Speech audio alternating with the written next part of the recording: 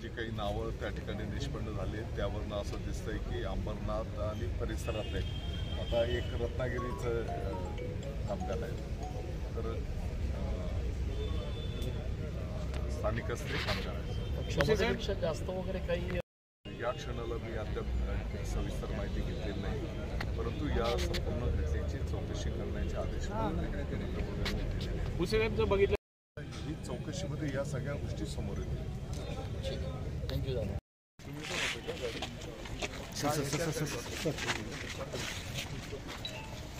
आकाश.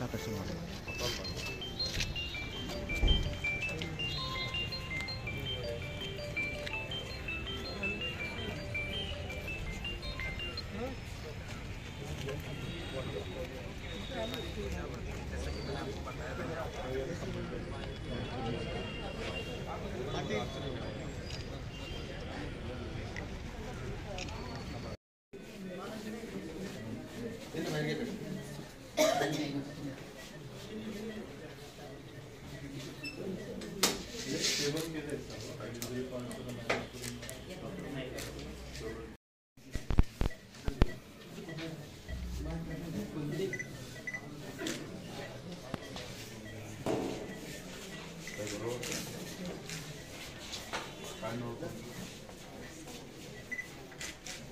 그러시고 물도 내려고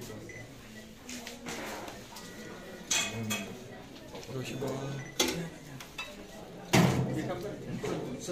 단반에 다닙니다. 단반에 다닙니다.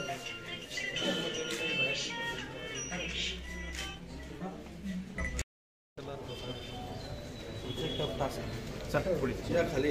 खाली आहे खाली आहे. चल. पुढे चल.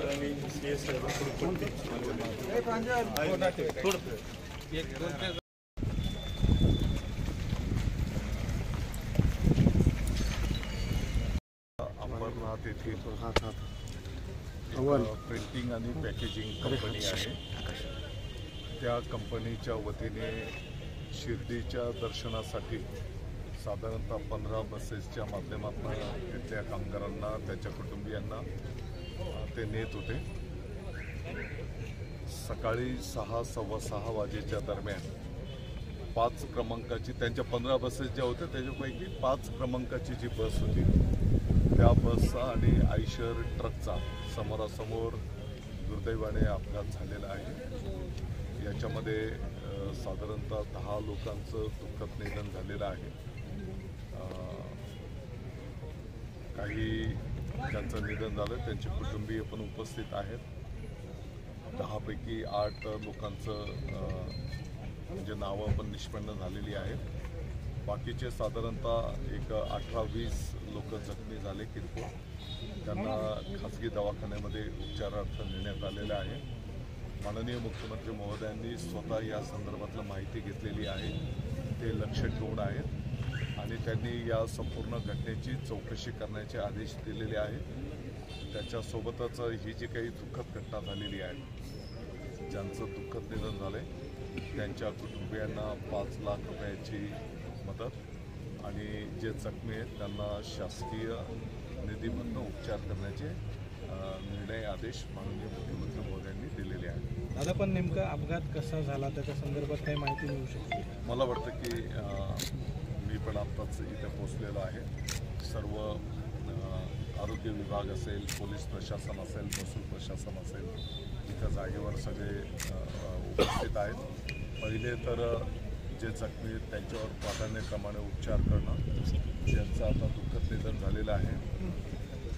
त्याचं पी एम प्रक्रिया करून त्यांचे नातेवाईक सांगतील. त्या गावी की त्यांचं डेड बॉडी पोचवणं याला प्राधान्य दिलेलं आहे. कदाचित प्राथमिक पातळीवर पोलीस विभागाकडे या संदर्भातली माहिती आलेली असेल मी आता ते चर्चा करून गेले आणि आता हे दहा जण.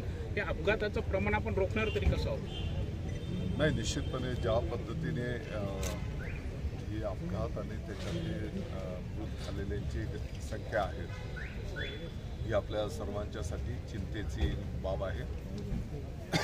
अर्थात प्रत्येक अपघाताचं कारण वेगवेगळं असू शकतं पाठीमागचे जे काही अपघात झाले होते त्याच्यात आपण बघितलं असेल की त्या चौकामध्ये तिथे अप अपघात झाला आणि वारंवार त्या ठिकाणी अपघात व्हायचे त्या पार्श्वभूमीवर आपण नाशिक महानगर क्षेत्रातील आणि जिल्ह्यातील पण जे वारंवार अपघात होणारे जे काही स्पॉट आहेत ज्याला आपण ब्लॅक स्पॉट बोलतो त्यांचं आयडेंटिफिकेशन करण्यात आलेलं आहे आणि त्याच्यावर काही उपाययोजना पण त्याची कार्यवाही करण्यात आलेली. आहे. आता हा जो काही अपघात झालेला आहे आपला पाथरे गावाजवळ साधारणतः नाशिक आणि नगर जिल्ह्याच्या बॉर्डरवर तर हा नेमका कशामुळे झाला?